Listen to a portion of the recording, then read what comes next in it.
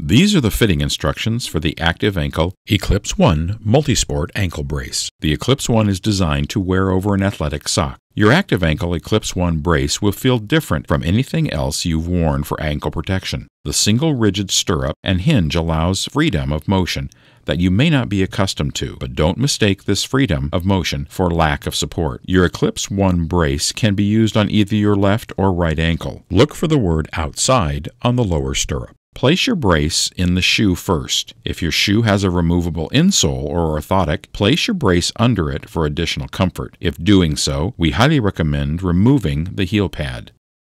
Loosen the bottom and upper straps and place your foot through the brace into your shoe. Make sure to adjust the pivot point to be in line with your ankle bone. Fasten the two upper straps and adjust so there is an equal amount of space in the front and back of the brace.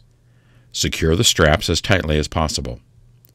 Secure the large bottom strap by wrapping the strap around the ankle, threading it through the slot in the middle of the stirrup, and securing as tightly as possible. Stand and make any adjustments needed. Your brace is like a new pair of shoes and requires a day or so break-in period. You may feel pressure on your foot or ankle after putting on your brace for the first time but this should subside as your brace adjusts to your ankle.